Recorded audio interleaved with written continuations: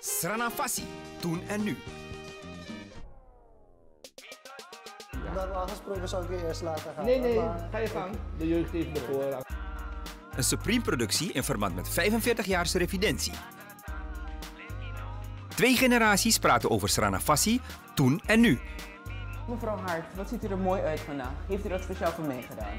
Ja, als ik naar je haar kijk, dan moest ik er fleurig mee zijn. Wat deed u op 25 november 1975? Werken. Elke dag een nieuw deel om half acht in de ochtend, vier uur in de middag en half acht in de avond. 25 vond ik het nodig om toch even iets te gaan proeven in die binnenstad. Kijk naar de complete afleveringen tijdens onze Revidentie-uitzending op 25 november.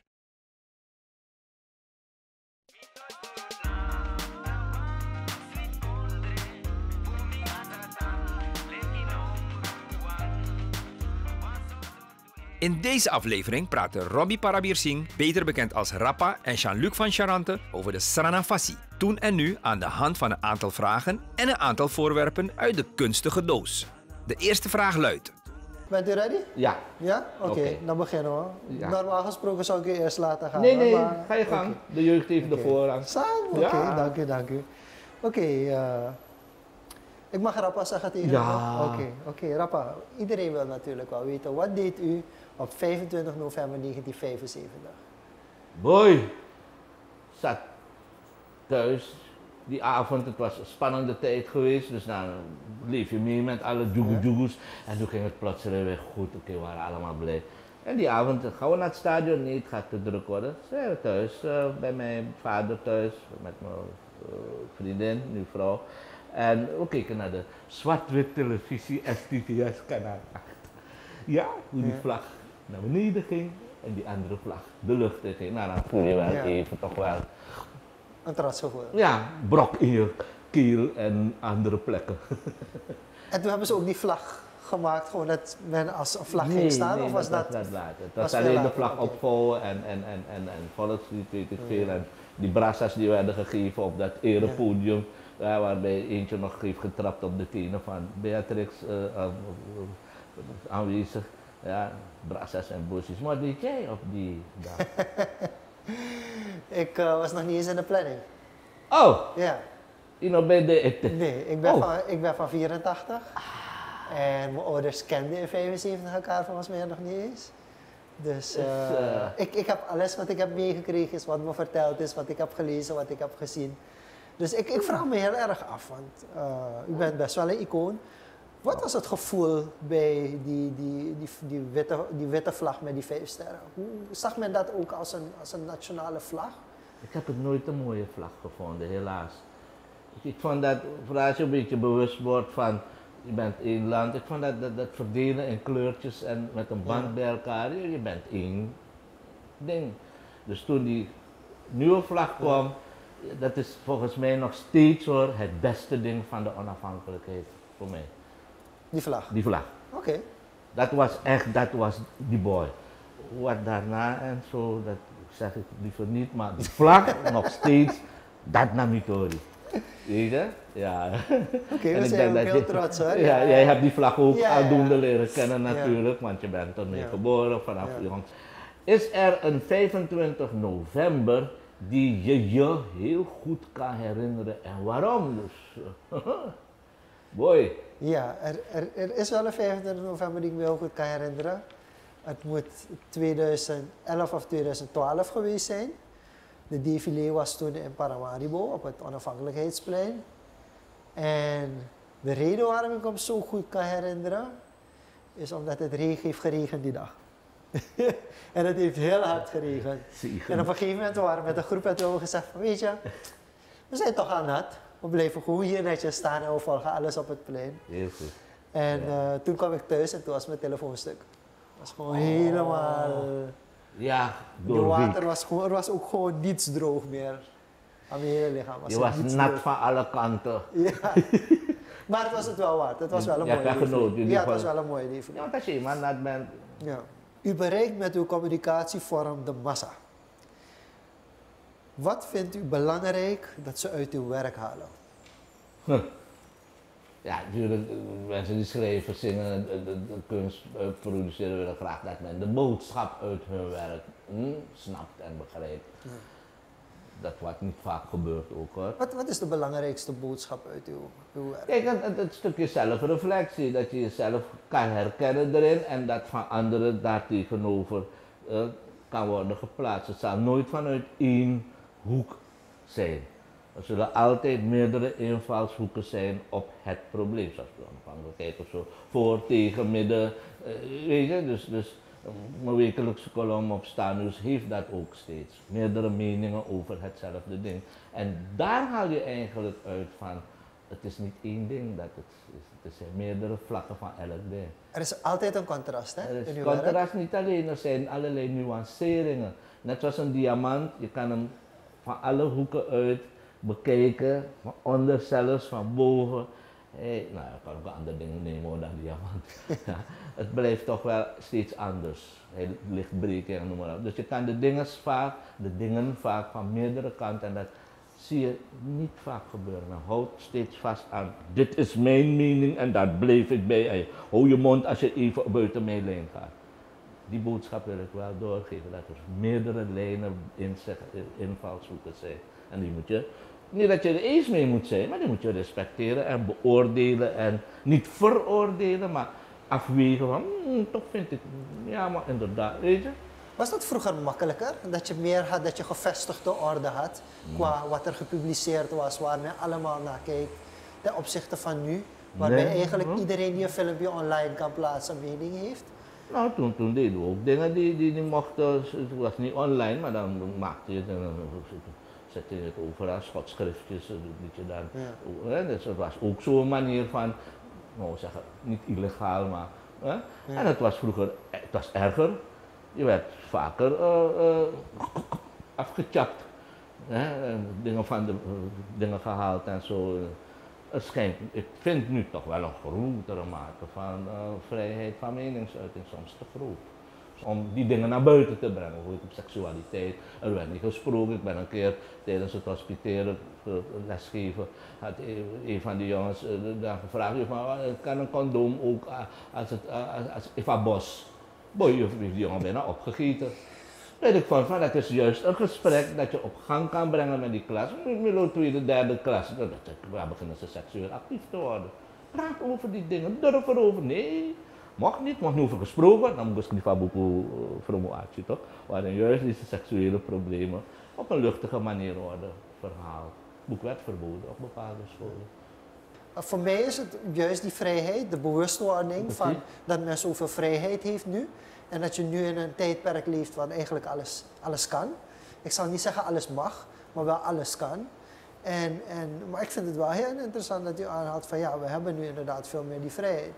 Uh, want ik heb toch wel het gevoel dat men dat een beetje begint te snappen. Maar tegelijkertijd die zelfbewustwording van hé, hey, heb ik wel uitgezocht of wat ik aan het vertellen ben, verkondig ben, klopt. Uh, en het gaat zelfs zo ver dat jongeren nu, kijk, toen, toen ik naar school ging, en we gaan straks ook een keertje over generaties moeten praten, want ik word gezien als de jonge generatie, maar is een generatie die jonger is dan mij, die nog nooit een koe heeft gemolken of heeft gezien hoe je een koe moet melken. En die dan vervolgens dingen verspreiden over koeienmelk op het internet die gewoon niet waar zijn. En dan moet je even inspringen en zeggen van luister, dit is toch wel iets anders. En dat hebben we nu heel erg veel, dat mensen op het internet dingen hebben gevonden. Voor hun gevoel iets over dat onderwerp weten. Maar eigenlijk nooit een praktische ervaring hebben meegemaakt hoe dat daadwerkelijk in elkaar zit. En dat neem ik wel ook een beetje in mijn, in mijn bewustwording, uh, de bewustwording die ik wil brengen bij jongeren wel mee. Hmm, hmm, ja. hmm. Zo, mijn vraag. Daar gaan we. Wat denk je dat de massa wil als het gaat om informatie? Wat wil die massa? Massa, massa, wat wilt ge? Is moeilijk, hè? Of niet? Nou, als ik, als ik gewoon kijk naar wat populair is nu, uh -huh. um, entertainment, of dat muziek is, of dat comedy is. Maar dat is echt al een, een, een onderdeel wat, wat gewoon heel populair is. En dat gaat door de hele bevolking heen. Uh, dus dat, dat sowieso. En, en men onderschat men wil vaak als men informatie consumeert, heeft het ook als doel om mensen dichter bij elkaar te brengen of om even uit het alledaagse te stappen. Een Klopt. beetje relaxen, weet je. Je hebt heel lang gewerkt en vervolgens ga je communicatie krijgen in je vrije tijd.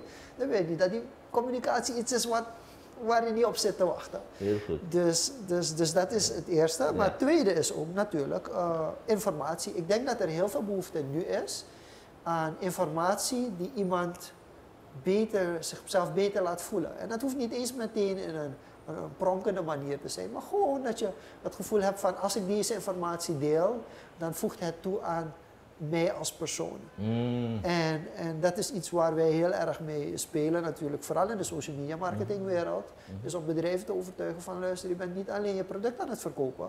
Je bent niet alleen bekendheid aan je product of aan je bedrijf aan het geven. Het is ook de bedoeling dat men zich kan identificeren met, Mm, ja. met, met jou. Ja. En, eh, en daar zien we wel dat er, er- er bewust toch wel mensen content creëren die bewust daarmee bezig zijn. Of het nou schrijvers zijn, of het nou Zo. eh, eh, documentaires zijn. Het, het is toch weer blijkt wel toch dat, je, dat dat wel een beetje terugkomt erin. Oké, nu horen we, en Ja. ik zie inderdaad parallellen lopen, maar eh, er werd vroeger toch wel meer gelezen. Meer in de kranten, kranten hadden ook veel meer artikelen. Ah, Weet je, ik, ik, ik, ik, haalde dingen uit de krant, plakte het speciaal op. En ja, er werd toch wel meer, en we hadden het gemak van internet niet. Als je informatie moest, ging je in de encyclopedie. Gelukkig had vader één, dan ging je echt opzoeken. Hè, en dan kwam je allerlei andere dingen tegen. Men wilde toch wel geïnformeerd zijn, maar ook vroeger was het van, het moet een beetje leuk zijn. Het moet een beetje aantrekkelijk gebracht worden. Het moet niet te lang en te langdradig en te veel herhalingen. En dat zag je toen al. En Ja. is gebleven, denk De ik. laatste keer dat ik encyclopedie heb aangeraakt was ik een tiener. Dat, dat, dat, ja, de- toen, toen was Google ook nog, bestond Google nog niet. Oké, ja. Dus het heeft ze gemakken. ja. Google is een enorme hulp. Maar waar we wel tegenaan kijken is, vroeger werd er, het was moeilijker om te publiceren. Ja, heel moeilijk. Dus, dus je moest wel een bepaalde, bepaalde stappen doorlopen voordat je een publicatie kon uitbrengen die mensen konden lezen. Klopt. En nu komt die informatie gewoon. Beroeps. En ik vind het interessant dat u aanhaalt van we lezen minder, dat klopt sowieso, want dat, in mijn studie heb ik dat ook meegemaakt. En de gemiddelde Amerikaan leest nu per dag 16 minuten. Ik heb vier dingen erin gezet die je kunt Ja, kiezen. Spoorzoeken. Hey. Sporen zoeken van de organisatie van eh, gerechtigheid. Ja. Zo jongen, waarom heb je dit in de box gezet?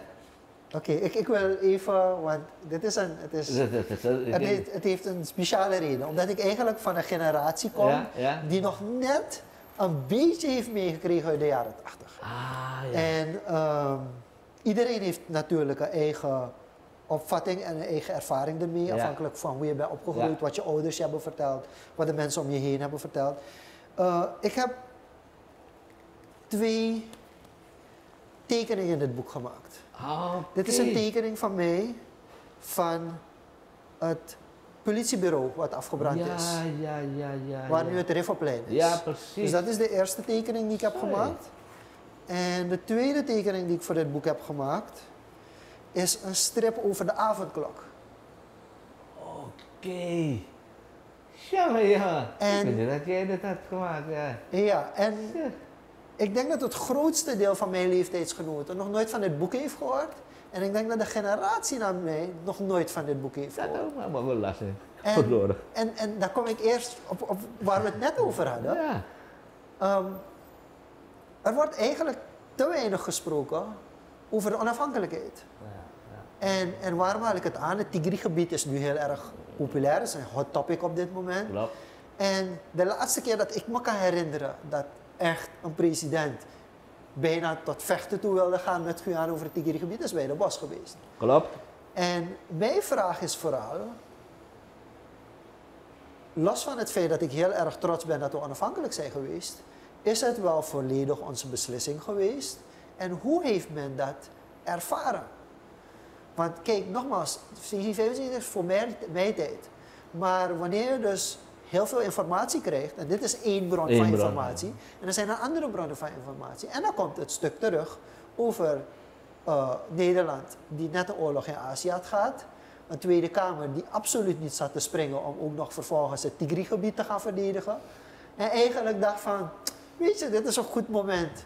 En dan, dat staat dan helemaal, dat verhaal staat dan ook weer los van het verhaal van wij als Surinamers die zeggen we willen onafhankelijk worden. En wat er wel in dit boek staat, is de gigantische stroom van Surinamers die hebben gekozen en hebben gezegd van wij gaan voor de onafhankelijkheid en vlak na de onafhankelijkheid terug naar Nederland, want we willen ons Nederlandschap niet kwijtraken. Wat ook weer vanuit de politieke kant soms wordt beschouwd als landverraad. Ja. Van, je hebt eigenlijk ervoor gekozen om niet te helpen ondersteunen om het land op te bouwen, maar kritiek aan de overkant van de oceaan te bieden. Dus mijn vraag is heel erg, want wij, wij kunnen alleen maar van horen zeggen. Ja. Dus Ja. mijn vraag naar u is van, maar hoe heeft u dat zelf ervaren, Eh, Srevidentie? Nou, dat is. Ja. Eh, wij, wij kwamen dus echt in die eh, sfeer van we moeten onafhankelijk zijn, we moeten onze eigen zaakjes gaan regelen. Maar naderhand merkten we dat er een hoop haken en ogen en dat niet iedereen daarmee duidelijk eens was. En het is eigenlijk door voor vele mensen door hun strot geduwd. Vandaar ook die hele grote jugu ervoor en zo. Kijk, die jongere generatie die is altijd te vinden, zoals wij eh, Ja. toen waren. Die waren, ja, maar ze, ja, ja, ja, Maar later realiseerde ik van, hé, maar bepaalde zaken zijn niet goed in orde. Onze dit, onze dat, is toescheidingsregeling. De familie van mijn vrouw, toen nog vriendin, was voor een deel naar Nederland getrokken. En een paar hier. Dus je werd toen geconfronteerd met de sociale toestanden die daarvan eh, het gevolg waren. En dan word je een beetje nuchterder. En dan kwamen dus ook bepaalde toestanden met geld, weet je, ontwikkelingshulp en ruzies over. Ik dacht, is dit het? Dus die, die onnuchtering kwam al gauw. En dat, dat was niet leuk. Dat is een van de vele teleurstellingen die dit volk toen wij als groep, maar later na ons generaties, die steeds weer voor iets hoopten en dan daarna teleurgesteld. Echt met hoop heb ik mijn Nederlands paspoort op eh, 1 december ingeleverd bij burgerstand waar het nu was, ja kabinet. En eh, ik dacht er wordt een gat ingeknipt en ik kreeg het terug met al die stempels waar we waren gegaan toen. Nee hoor, die vrouw neemt dat paspoort en stopt het direct weg. En ik, maar ik dacht ik het terug zou uit de hoek eruit. Nee, nee, nee, nee, nee, nee, nee, nee. Maar dan kreeg je gratis een, een Surinaams paspoort. Later hoorde ik dat er een hele handel is geweest met die ingeleverde paspoort. Dus iemand is op mijn paspoort naar Holland gegaan, maar die is niet. Ja, dus dat zijn dingen die je later gaat horen. Ik, ik kan een heel boek open doen over mijn Surinaams paspoort, en, eh, maar we gaan dat bewaren, want ik heb Ga ook door. ervoor gekozen. Ja, Nee, echt ook eentje van maar, ik, doen. dan- maar ik sta nog steeds achter mijn keuze hoor. Ik heb nooit Ik sta getwijfeld. ook achter mijn keus. Als je eenmaal zegt het ja-woord geeft aan een vrouw of anderen doen het aan een man als ze man zijn, ja, aan een vrouw, aan een vrouw, moet het niet doen, je moet erachter blijven staan. Anders je op bediening, ga je van links naar rechts op de openbare weg rijden. Dat is het je kan doen. Vergelijk het taalgebruik in Suriname toen en nu. Toen en nu. Ja, u, u mag natuurlijk over toen praten. Ja, toen is er. Kijk, het, het was sterker gericht op Nederlands.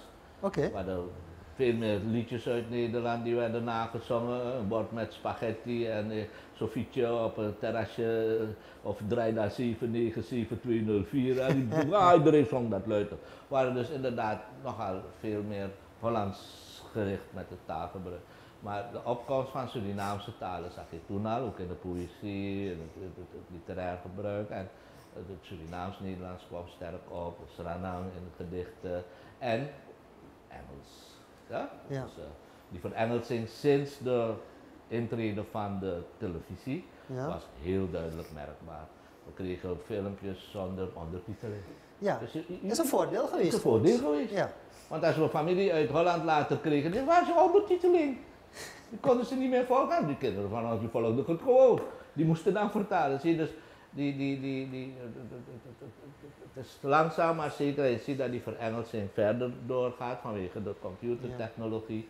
Ook bij onszelf als ouderen. Dus er is duidelijk een tendens in die richting. Ja. Wat, wat heeft voor uw gevoel het meest bijgedragen aan, dus heeft dat gaat over televisie, Televisie, maar wat ja. heeft het meest bijgedragen aan het, het meer Stranantongo, het meer Surinaams meenemen in de algemene communicatie? Dus dat was de vrijheid die we duidelijk kregen als we hoorden dat het vroeger niet zo was. Dat we onderling op school, in de, pauzes en zo, in de klas zelf, ja, ook wel les van de Surinaamse leerkrachten, dat het meer toegestaan was, vooral in communicatieve zin. Dat je elkaar daardoor ook beter kon uitdrukken wat je gevoelens waren. En toen hadden we meer, toch wel meer Hollandse leerkrachten dan nu, nu heb je er nauwelijks. Ja, en die zaten soms echt even van, wat hebben jullie nou over? Ja, zelfs ook als we in het Ja. Nederlands spraken, het Surinaams Nederlands. hoor, Dat een keer van, hé maar, ga je naar die bijlegvuif van, van eh, kippen? Kippen was een van die Ja. En die Hollanders zeggen, wat is dat, een bijlegvuif? dat wisten ze niet. Zij noemen dat een Dutch party. Ja, Engelse benaming voor dat typische Nederlandse Dat ding. ding. Iedereen brengt wat. ja. Zie dus daar al merkte je dat er toch wel duidelijke acceptatie ook was van leerkrachten die ons toestonden om Surinaamse boeken te lezen, om Dobro te lezen. Er werden voordrachten gehouden in die gymzaal die op instorten staat daar op het museumterrein. En ik zie Dobro nog daar zo met die manier hoe hij 13 galgen aan mijn manjaboom. Mijn kara gezegd, "Wat? 13 galgen. Oh, hij bedoelt, er zijn 13 ministeries. Au. Dus daar drong het door van dat er meer was dan wat we, weet je? Ja. En dat het gebruik dat we hadden, onderling taalgebruik, Wakaman taal was toen in, zo werd ik ook allemaal bijnaam gekomen, namen werden Ja. omgedraaid en woorden. Hè. En, eh, eh, zei Bakawan nieuw Steve. Nee, maar wel Bakawan nieuw Steve. Fiets. Zie je, dus daardoor kreeg je een grotere acceptatie, maar eh, thuis en zo, je kan taxen aan je ouders. Bent u wel eens verboden of iemand die u kent om Ja, zijn wat oudere familieleden die dat niet al leuk vonden. Dat het zo, eh, en dan wordt dat meestal ook met de, met de intentie taal. Dus niet alleen dat woord, maar ook die intentie die achter die taal zit. Iemand die Frans praat, praat het ook heel anders dan iemand die Duits praat. Ja, dus ik weet dat zo, nou, nou, nou, dat allemaal lusje en dat vond ik, dat ik niet zo uh, luidruchtig en dat is goed beschaafd. Ja, feestjes waren, familiefeestjes. Dan hielden het een beetje, of we gingen verder weg zitten. maar voor de rest had het geen probleem. We waren rebellerend vroeg om het op zijn tijd aan onze luister te laten. Wat heb jij daarvan eh, eigenlijk? Ik, ik, zit te, ik zit te denken, want sowieso dat Nederlands-Surinaams, Ja. ik heb het ervaren met, toen ik studeerde, lat, liniaal, microwave, magnetron, Oh, veger, gum. gum, ja. Dus ik, ik kwam wel in, in Babylonische spraakverwarringen met, met medestudenten in Nederland. Omdat ik wel eens gewoon zei van, mag je lat even lenen? En die persoon keek echt naar me van, waar heb je het hemelsnaam? Oh, lineaal, lineaal. Weet je, dat soort, dat je denkt van, maar kom op, je snapt echt wel wat ik bedoel. Maar sommigen snappen het oprecht niet. Ja. Snap je, als je met een Brabander of met een Limburger praat die met zwaar accent praat, ben je het ook gewoon helemaal kwijt soms. Dus, dus dat is, ik zit dan te kijken, waar is het strand om? Het Engels is sowieso gekomen vanuit die films. Ik weet dat we op een gegeven moment leerden dat we, keken Karate Kid en iemand zei continu I'm hungry en wat of I'm hungry betekent ik heb honger. En nu zie je dat helemaal met liedjes. Ik ken, eh, mijn dochter is vijf, vriendinnetjes van haar die gewoon volledige liedjes in het Engels zingen, omdat ze die liedjes in hun hoofd hebben en dan kennen ze die woorden ook wat makkelijker. Dus daar zie ik het sowieso Ja. wel. Bij het, het Surinaams, het, het Sranatongengebruik, uh, sowieso in de sportwereld maak je dat vooral mee, omdat je dan gewoon vaak, veel vaker in volksbuurten komt waar dat gewoon de spreektaal is en Nederlands gewoon niet. Maar ook uh, Suripop. Ah. Lobisigi, uh, op een gegeven moment was Apochida Paramu. Dat was, was een lied wat iedereen het over had. En dan ga je pas denken van, huh, maar wat is dat? Is dat überhaupt Surinaams? Wat voor taal is dat? En dan komen plotseling, en pas in een later stadion, ik wist, ik wist toen ik klein was echt niet wat het verschil tussen Saramakaans en Okaans was. Snap je? Dat zijn pas dingen die je nu, nu eigenlijk het breder publiek ook toegang krijgt tot die talen, begint te snappen dat er een verschil is, waar die verschillen vandaan komen. Dat je bewust wordt van, hé, hey, maar de Surinaamse taal gaat veel verder. Ik vind het heel erg mooi dat de, de vicepresident zijn toespraak heeft gedaan en heeft gezegd van luister, ik weet waar mijn kracht ligt. Ik ga niet in het Nederlands en dan gaat men kijken en dan gaat men kijken, is dat de vicepresident van Suriname? Terwijl hij het zo krachtig in zijn eigen taal kan vertellen. En dat was iets wat voor ons, toen we opgroeiden, was af en toe van nee, op bepaalde plekken waar je komt, Nee. is, is, is Ranatongen gewoon niet toegestaan, zijn andere talen gewoon niet toegestaan. En daar ben ik wel blij dat we daar ontwikkeling in zien. En we raken ermee geconfronteerd nu ook op social media. Dat, dat bedrijven tegen ons zeggen van ja, maar ik wil uh, niet gewoon een algemene post in het Nederlands plaatsen. Ik wil een beetje wel de taal die mijn doelgroep spreekt. Precies. Wil ik ook spreken. Ja. En dat maakt het moeilijk, want op het moment dat je te diep gaat, snap je? Ik, Sanami, ik kan niks volgen van Sanami. Dus als je, als je te diep erin gaat, dan raak je ook weer een groep kwijt die zegt van oké, ik snap dat je, dat je de waarde van je cultuur kent, maar aan de andere kant willen we er wel nog steeds bij horen. En, en je bakent ons eigenlijk af als je te diep gaat in die cultuur. Dus dat is, dat is het Niet spanningsveld waar we nu hebben. Aan de ene kant hebben we gigantische trots op, op, op onze talen. Aan de- en ook aan die kant wil je eigenlijk dat je, dat je relateerbaar bent aan de groep met wie je communiceert. Maar soms ja, Ja, je maakt het ook weer Ja, een beetje exclusief en niet inclusief. Dus raak je ook weer mensen kwijt omdat je te snel naar een, een taal toe bent gegaan of naar een diep. communicatiestijl toe bent gegaan. Dat- Waardoor je gewoon echt een deel van de bevolking weer kwijtraakt. Yes. Maar dan kunnen we weer even. Yes. Maak je, oh, dankjewel dat je het openmaakt. Ja, ik zie. Dit is toch wel leuk om. om Toch even over te praten. Ja, eventjes, ja. Dat, dat is eh, eh, mooi, dat zijn eh, dingen die je in Kauwgum kreeg, hè. Met allerlei, met allerlei plaatjes van, hier heb je die Martin en hier de Supremes en hier heb je de Beatles. Dat was het Surinaamse kogel of buitenlandse dus, kogel? ah, buitenland, we zijn een importland toch? Maar het mooie was, de achterkant had eh, eh, gevechtsvliegtuigen. Ja, eh, natuurlijk Amerikaanse gevechtsvliegtuigen. Dus onder ons was het een rage, een gevecht vaak om die serie compleet Dit te hebben. hebben. 50. Dus dan kochten we, we een kool, wat je, dat kook ik nog uit nog zo. Ja, alleen maar, ik heb nummer 43 dubbel, wil je rijden met nummer 10. Dat was dus onze, en dat deden we vroeger heel veel, dat we dus dingen verzamelden, postzegels, dit soort dingen, plaatjes, meisjes eh, verzamelden, hoe noemen ze die dingen? Eh, van die, met, met, met glitter, eh, mooie eh, tekeningetjes van eh, allerlei een, een, een sprookjesfiguur. Dus er werd veel verzameld, veel dingen verzameld. Ja, en, en, en ja, dit is nog overgebleven, hoeveel ruzies we hebben gehad, dat die ene die Wat- andere jat. Wat is de meest waardevolle kaart die ertussen zit, denkt u? Ik weet het niet, dat, dat, dat is eentje die toch wel heel vaak, dat was van de Rolling Stones, waar ze bij elkaar zaten en zo toen. Want niet lang daarna overleed een van ze. Brian. Jo- Brian Of Jones. Brian, oké. Ja, en dat, toen was het dan een, een, een stond hij nog op. Ja. Dus dat zijn van die dingen die zijn bijgebleven en dat zie je nu wat minder. Dus, postzegels verzamelen, dat doe je gewoon niet meer. Je plakt geen postzegels meer op, je hebt geen brieven Ik meer. had bijna postzegels meegenomen. Ja? Ja, ja. Dus toch heb je daar wat van? Niet, maar dat is meer een familieding. Ja, ja, ja. Ik heb een collectie van duizend basketbalkaarten van de jaren 90. Allemaal Van. Michael Jordan, Charles Ja. Barkley, ja, een hele collectie heb ik. Hey, dat heeft. Ja, Waar, ja dat is wat grappig is. U zegt van het wordt niet meer, maar dat is nu heel erg in. Dat is juist 2020. in. Ja. 20 is heel erg in. Collectie van basketbalkaarten, voetbalkaarten. Ik heb nog flippo's van vroeger ook nog zelf. Heb je ook Heb nog? ik ook nog. Ja.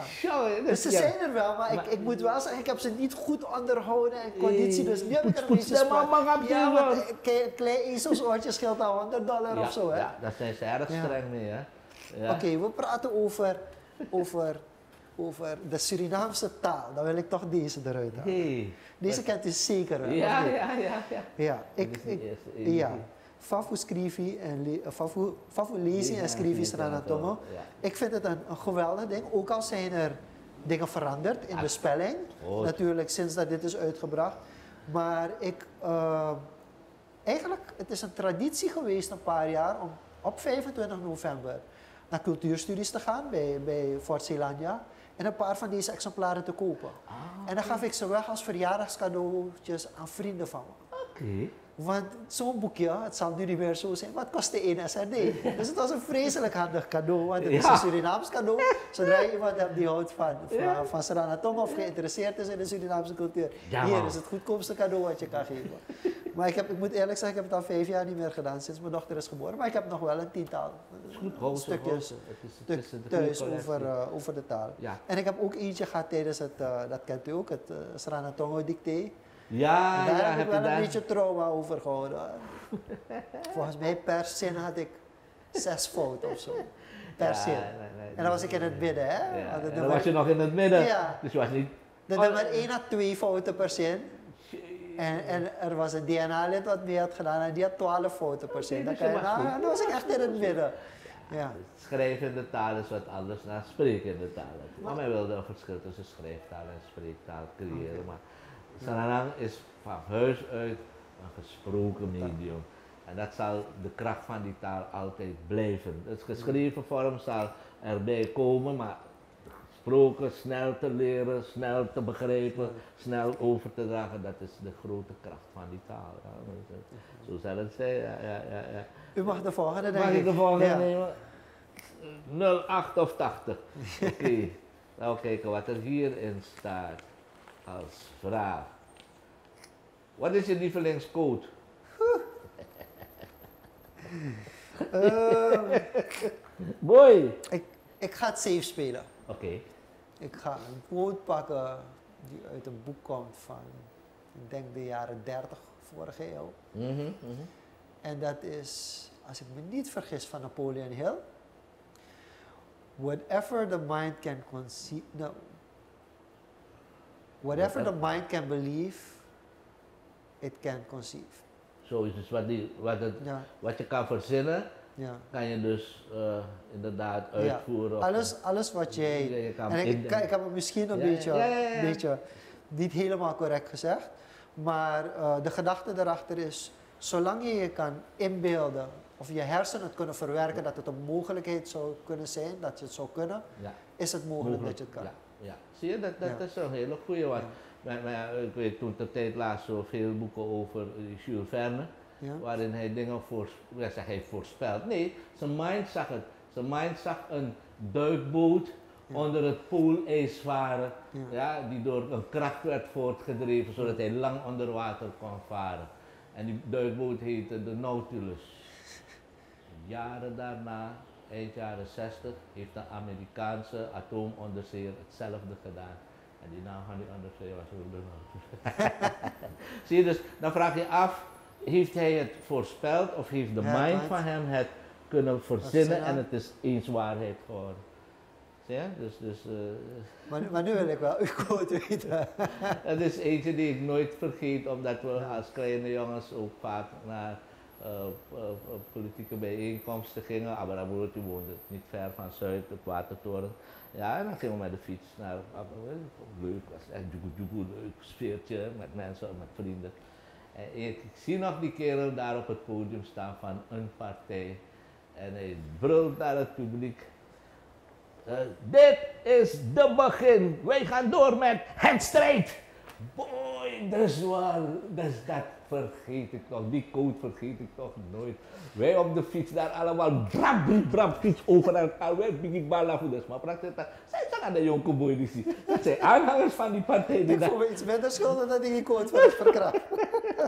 Nee, maar dat is een code en het is nog steeds Ja. zo.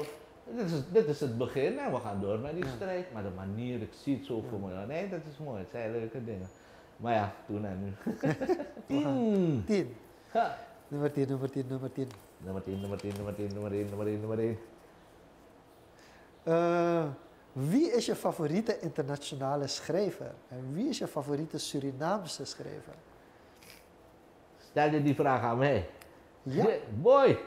Nou, En je moet eentje kiezen, hè? Ja, wel toewijding, is top 3, zoveel. maar we moeten wel... eh, Nee, dus, eh, kijk, wat ik eh, internationaal, op school kregen we ook veel meer, minder internationale schrijvers te lezen. Maar de ene die ik echt met veel fanfare heb gelezen was Jan Wolters. En vele van geschriften zijn ook daarop geïnspireerd, zeggen sommigen. Ja, maar oké.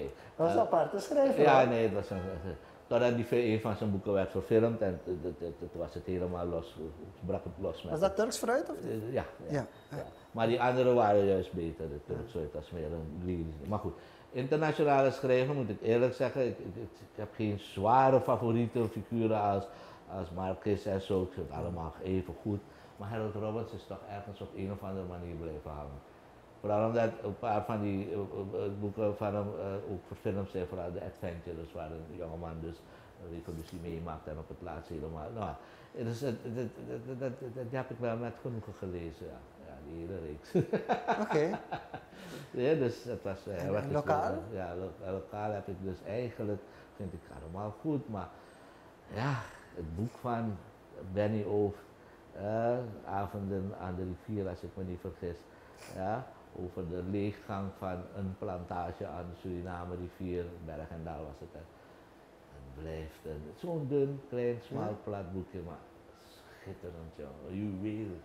Ja? Oké. Maar het is, de hedendaagse generatie kent dit soort juweeltjes van ons niet. Maar misschien moeten we daar toch wel wat aan gaan doen. Ja, daar ben ik zeer zeker van plan Ja. te doen. Misschien ik- dit de aanzet ook, weet je.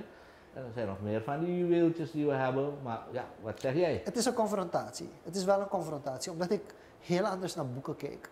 Ja, Eh, ik heb eigenlijk mijn middelbare school, het eindexamen voor, ook gewoon voor, voor Nederlands en Engels, moest ook boeken lezen, heb ik grotendeels met samenvattingen ja, ja, dat is geen Ehm, dat is duidelijk. En, en eh, ik hou nog even een geheime internationale schrijver wie dat is, kom ik in, in 30 seconden op.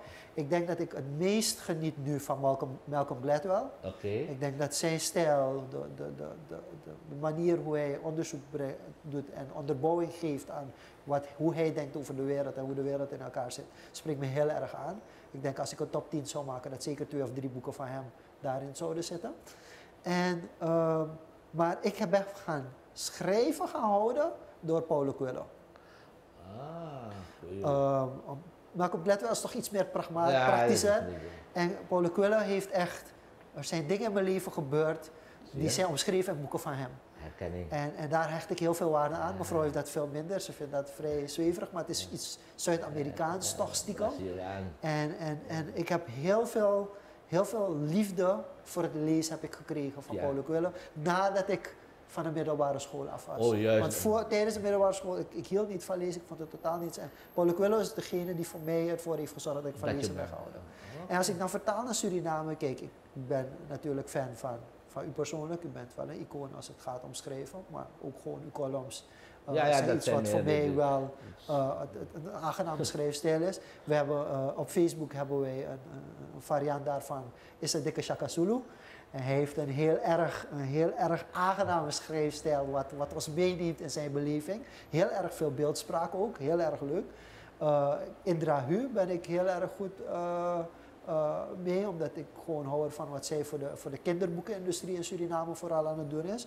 En, en als je dan toch gaat naar gedichten, Dobro is toch wel een, een, een persoonlijke favoriet. Maar als ik kijk naar communicatie en wat, wat is het Surinaams werk wat mij het meest heeft aangesproken, die het meest over Suriname heeft verteld aan mij, dan ga ik naar een kunstenaar, naar Ron Vlu. Ah, Ron Vlu heeft mijn favoriete schilderij. En er is nog een heel verhaal erover, want ik me niet vergis zijn er twee, twee versies van dat schilderij. Is The Selling of the Rainforest. The Selling of the Rainforest is een, een, een Surinaams... Ik zoek echt naar een foto daarvan. Het is een Surinaams schilderij waarin op de achtergrond je ons bos ziet. Ons prachtige 93% eh, bos. En op de voorgrond zie je een paar mannen die dat bos aan het verkopen zijn. mm, En dat is een heel typerend beeld. Het is iets wat ons heel erg kwelt, waar we, de positie waarin we nu zijn. Van, we hebben een gigantische rijkdom aan natuurlijke hulpbronnen, maar wat krijgen we er echt daadwerkelijk voor terug? Dus dat is me echt, als we praten over, over, over communicatie en. Suriname, wat, Ja. wat vertegenwoordigt Suriname voor jou? Is, en natuurlijk is Ron Vlu sowieso een van mijn favoriete kunstenaars, maar dat, dat is me echt Ja, bijgebleven. het zegt, ja. Ja. Inderdaad, the selling of the rainforest. Ja. Ja, u mag, u Oh, mag, mag we zijn geswitcht. Van, eh, nee. ja, ja. Mag ik gewoon de volgende nemen, Ja. om niet over te slaan? Oh, boy, nou, echt, ah, is dat wel moeilijk, man. Die Ja. moeilijke komt nu, hoor. Net Wat ik zei, zie je? Ah. Wat zijn de pagina's die standaard openstaan op de webbrowser van je telefoon? Ah, die mooi. Dit is een hele leuke. Omdat dit, als je me een jaar geleden zou vragen, is het antwoord dat ik nu zou geven, zou niet voorkomen. Eh, chess.com. Ah. Ik ben begonnen met schaken. En ik heb mijn dochter erin meegenomen. Ah, Dus mijn dochter schaakt af en toe ook met me mee. Ze is vijf, Nee. dus ik verheb. nee, is nee, niet, eh, dingen. is goed. Dus dat staat standaard open. Als ik even vijf tot tien, nou eigenlijk tien minuten vrij heb, dan ga ik gewoon even een potje schaken. E2, E4. Ja. Open en set. Heel leuk, Ja, heel leuk. dus, eh, dus dat, en dat is echt door COVID ontstaan. En men onderschat hoe, de, hoe schaken is gegroeid door COVID. Omdat het iets is, een ja, sport, als ik het denksport mag noemen. Wat natuurlijk, doordat iedereen thuis was, is de belangstelling gaan groeien. Er zijn heel veel bekende online YouTubers en Twitch-streamers die vervolgens schaaktoernooien zijn gaan doen. En schaken was natuurlijk iets wat je wel op afstand kon doen. De meeste evenementen zijn stopgezet. Precies. En toen heeft de, de, de grootmacht, Magnus Carlsen, dat is nu al bijna tien jaar de beste schaker van de wereld. En is een van de grootste denkers, als je een ontzettend begaafde Ja, ja, ja. man is dat. En heeft toen een, een toernooi georganiseerd met bijna een miljoen aan prijzengeld. En toen is mij ook wel van, oh wacht even, online schaaktoernooi met honderden duizenden aan prijzengeld. Hij natuurlijk zelf het, zijn eigen toernooi gewonnen, dat wel. Maar hij is nu al eh, volgens mij vijf jaar bijna. eh, Maar het stimuleert enorm. Maar het, het is natuurlijk wel iets waarvan we Goed, denken van, hé, hey, dat is wel interessant. Ja. En ik ben altijd een dammer geweest. Dus voor mij is het een gigantische Ja, ja. uitdaging om nu naar schaken toe te gaan. Omdat er er komen zoveel dimensies bij kijken die ik niet kende. Wat ik op de computer vaak ga, Ja. heel vaak, is die website met uh, weerbericht, eh, Windy. Ja, toch? Dan kan je zien de weerstoestanden. je kan inzoomen, zie je ook het, Suriname heel. Tot de straatnamen kun je dan van Paramaribo zien. Dat kun je soms ook. eh, hè. Maar dan zie je ook die Ik had orkanen. Verwacht Ja, nee, te veel, te veel. Dat is al genoeg, eh, weet je. Nee, maar dit, naast dat, nieuwsites, is dit echt maar weer de volg hoe de eh, eh, orkanen zich ontwikkelen van dag op dag, hoe die regenvelden hier aankomen, hoe de droogteperiode. Daar heb ik altijd van gehouden, dus dit is voor mij. Dit is dan vraag ik me stiekem wel af om het toch te vertalen. Ja. Welk boek, 30 jaar geleden, welk, welk boek was het dichtst bij uw nachtkastje? Dat is dat boek van uh, Sagan heet hij, eh, Carl Sagan geloof ik. Hij had op de televisie een serie over ruimte en heelal en kos- kosmos. Ja, en toen werd het boek verkocht bij boekhandel Wienans aan de Ja. overkant van Slaashospitaal, is allemaal verbrand toen. Bijbelboek, dat heb ik echt nog steeds zit ik erin te bladeren. Al is het 30, 40 jaar oud, joh. die foto's, die, de manier hoe het is gebracht, die ruimte om ons heen, die enorme leegte, maar toch vol met mysteries en weet je, nou dat heeft me altijd geboeid inderdaad. Ja. We mogen weer naar de. U mag, Nou, u mag- ja, oké. mag eentje uitkiezen nu. Eh, Er zijn nog twee, twee leuke dingen erin. Oké. Ehm, ja, dit is het belletje. Dit, maar dit is misschien leuk. Ja. Dit is, dit is namelijk een stuk communicatie tussen mij en mijn vader, ook veroorzaakt soms in boze zin. Ja. Het spook. Eh, toen al zat ik te wriemelen en te wrammelen met boekendingen. Zo, Hier heb ik een soort eigen boeksel in elkaar gezet. En, en hier zelfs met een uh, uh, super luxe uitvoering, handelsmerk, BTW, alles was erbij. Copyright 1970, 16 mei. Wat deed ik? Ik knipte al die stripverhalen uit, uit de krant. En dan plakte ik ze naast elkaar elke dag. En totdat het compleet tot het einde was. Wat wordt dat? Wat staat erop? Zo, ja. Oh, dit is een van. Dit, jongen, ai, ai, ai. ik zit wel altijd te spelen met dit ding. Ik, En weet wat- niet of ik een computer kan vinden waar dit Dus nog in kan. is- Wat staat erop? Hier staat op Jean-Luc van Charante en mijn studentennummer toen ik studeerde in Tilburg. Oh, Dus ik ga even tussen nu en het oude inzitten. Want u heeft het gaat over korte golf. ja. Op deze schijf staan al mijn verslagen en papers van mijn eerste kwartaal op de universiteit in Tilburg. Al je. Al mijn verslagen. Dat wil ik zeggen. En deze schijf heeft 1.44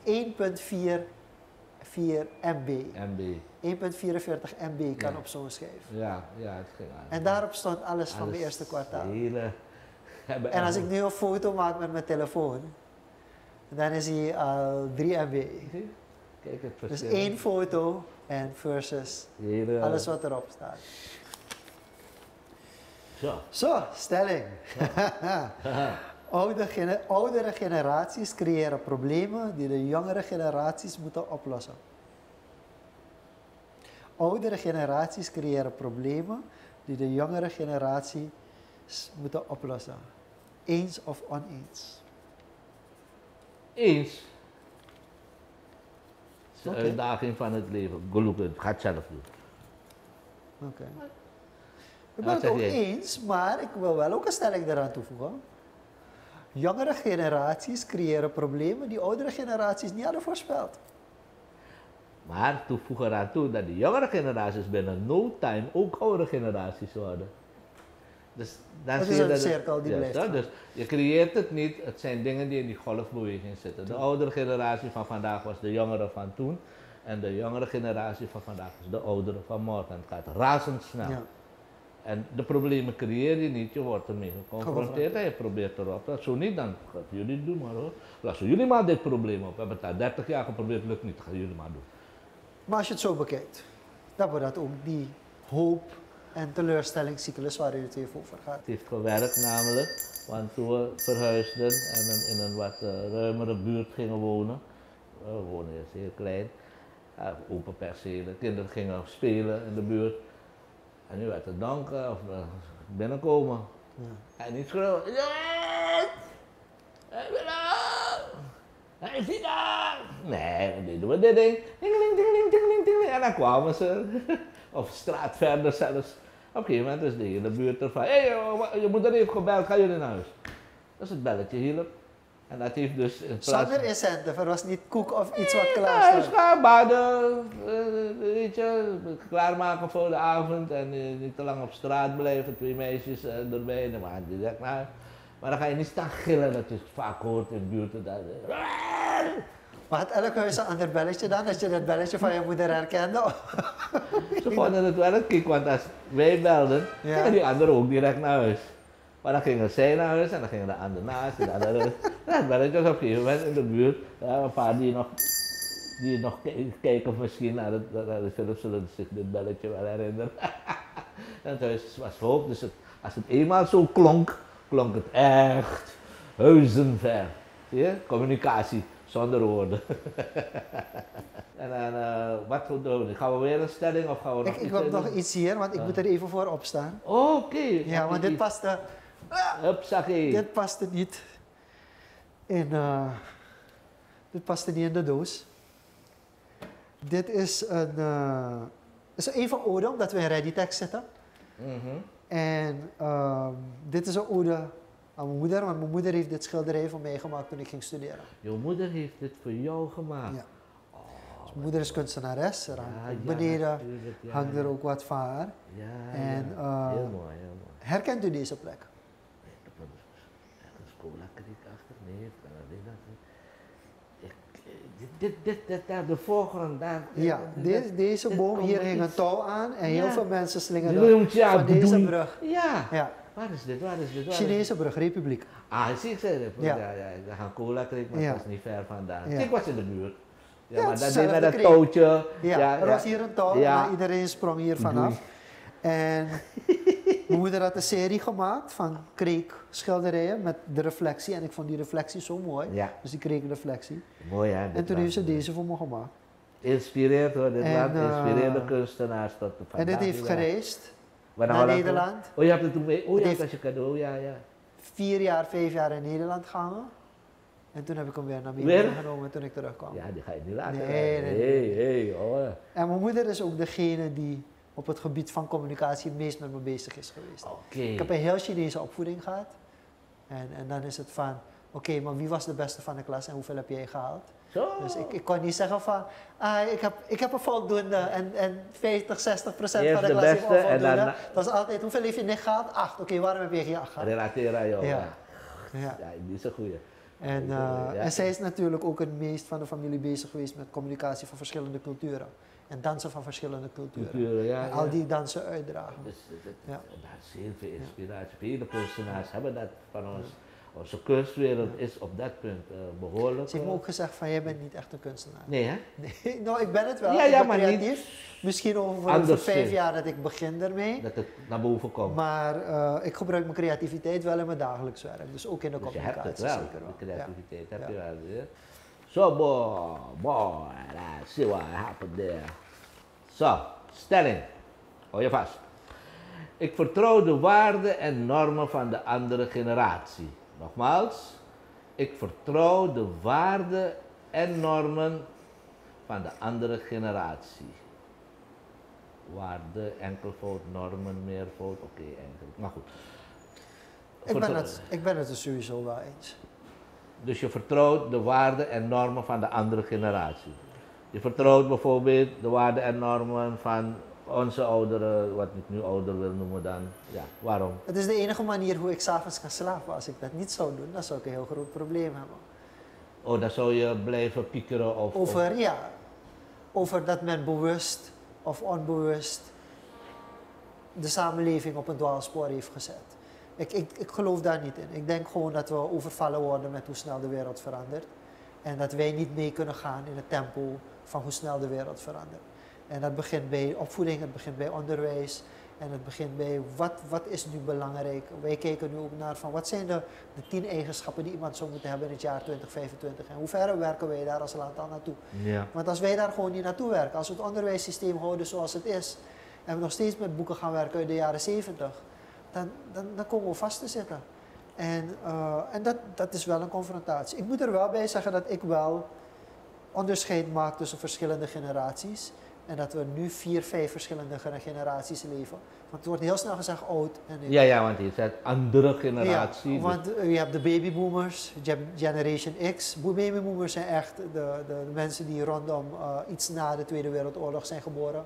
Dan heb je de Generation X, dat is nu eigenlijk de generatie die aan de macht is. De generatie die tussen de 40, 45 en 60 zit. Dan heb je mijn generatie, de millennials, die zijn rondom het millennium eh, geboren, maar of opgegroeid in elk geval. Zijn de eerste generatie die het internet echt heeft Mm. geadopteerd. Maar je hebt ook al een generatie na ons, de Ja. Generation Z. Dat zijn mensen die na 2000 zijn geboren, die zijn gewoon met het internet geboren. Ja. En men gaat ervan uit dat die generaties hetzelfde zijn. En, en, en de generatie X en Y hebben het eigenlijk het zwaarst. Generatie X heeft het het zwaarst, want zij zitten nu met alles, zij moeten alles oplossen. Zij zitten met de zwaarste leningen, zij zitten met de gebakken peren, want de babyboomers zeggen jullie, jullie, jullie doen het gewoon slecht. En de, genera- en de millennials zeggen maar het is jullie schuld. En dus iedereen schuift eigenlijk op die generatie X. En, en daar val ik net niet in. Ik val in de generatie millennials, die worden gezien aan de jonkies, de nieuwe mensen. Maar wij zijn niet de generatie. Wij zijn de, de millennials zijn de generatie die nog juist wel op straat heeft gespeeld. Ja. En juist nog cassettebandjes heeft meegekregen. En dat soort dingen. Dus, dus, dus, dus en, en, maar vaak kijken oudere generaties naar ons, maar jullie zijn toch de jongeren. Maar de millennials die hebben een totaal andere belevingswereld dan de huidige jonge generatie. Die met het internet is opgegroeid. Die Facebook echt niet als een verplichting ziet. Het is gewoon Want, het is gewoon daar. ze hoeven er helemaal niet op te zijn. Nee. En ze zijn op kanalen die wij niet eens kennen. En, eh, en dan hoor ik vaak ouders tegen me zeggen van ja, maar kijk wat er allemaal op Facebook wordt gepost. En, eh, en, en dat kan toch niet dat mijn kinderen dat zien. En dan denk ik van ja, maar uw kinderen zien dat niet. U ziet dat omdat uw tijdlijn zodanig is ingericht op de dingen die u interessant Ja. vindt. En dit de dingen zijn die bij u dan binnenkomen. Ja. Uw kind is op Snapchat of TikTok en zit naar andere dingen te kijken. Het zou misschien goed zijn om even in die telefoon te gaan kijken wat er gebeurt. En dan moet je dus die opvoeding hebben die meegaat. Ja, Want ja. ik ben opgegroeid en mijn ouders hebben me gezegd, als er een auto komt met iemand erin die je iets aanbiedt, aanbiedt, stap je niet binnen. En hetzelfde verhaal moet je dus nu gaan vertalen naar het internet. Ja. Als iemand nu iets, jou iets geweldigs aanbiedt voor op het internet, moet je er niet op ingaan. Snap je? En dat zijn ook weer normen en waarden die dus eigenlijk met de generaties moeten worden. ja, moeten ja, worden meegenomen. Ja, ja. Dus, dus is wel mooi dat je daar laat zien dat in wezen is het oppassen voor het aanlokkelijke is gebleven. Ja. Alleen de manier Je hoe je dat is veranderd. Juist, dan Ja. moet je daarop inspelen om te zeggen, het is nog steeds datzelfde. Ja. Pas op voor het aanlokkelijke, want je klem. Ja? En, en, en het is niet schuld van internet Net, of nee. het is ook niet schuld van die auto geweest met die kinderlokken erin. Het is het fenomeen dat, waarop gelet moet worden. En dat is inderdaad heel goed. Maar hoe is het voor u dan, als u dan nu kijkt naar de jongere generaties? Ja, nu gaan we de, de Ja. andere generatie dan vertalen als de jonge generaties. Ik heb altijd gezegd dat een, de groei van iets, van elk ding, ook een boom of plant of eh, mens, of samenleving, die groei herken je niet aan het aantal oude bladeren. Die groei herken je aan het aantal jonge bladeren en hoe ze eruit zien. Zien ze er fris, groen of zijn ze daar al kroa gaan, zoals ze kroa gaan worden of zo. En ik geloof in die jonge generatie, omdat ik zie dat jongere generaties, omdat ik zie dat het jonge, potentieel krachtige bladeren aan die boom zijn die alleen nog niet de juiste omstandigheden hebben. Het is net als een plant die uit de zon komt, hij gaat zoeken naar die zon.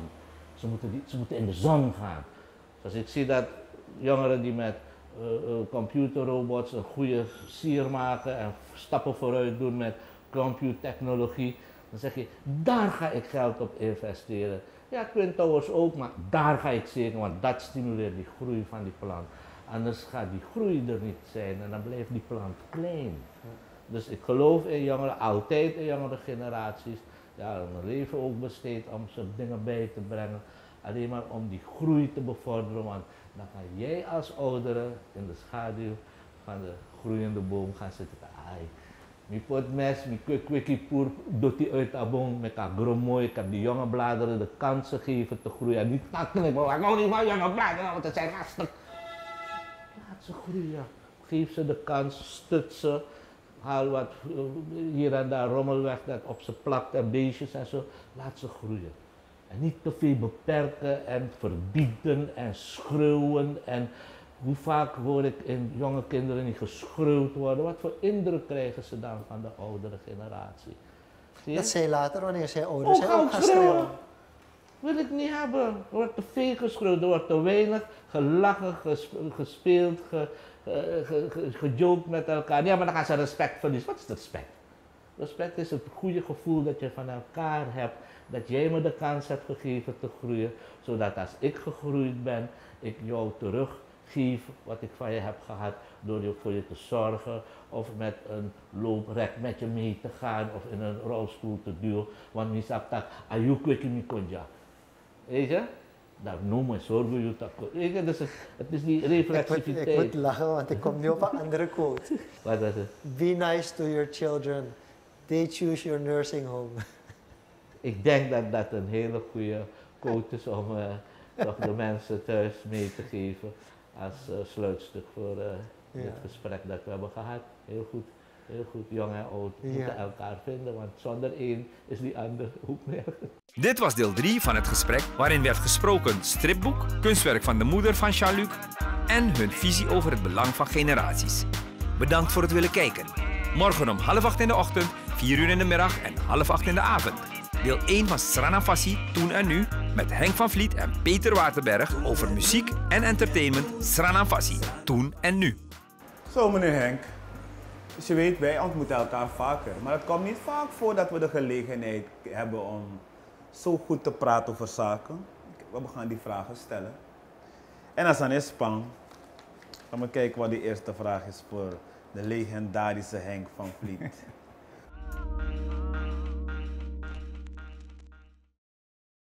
This is another Supreme production. Supreme TV. To entertain, to inform, to inspire.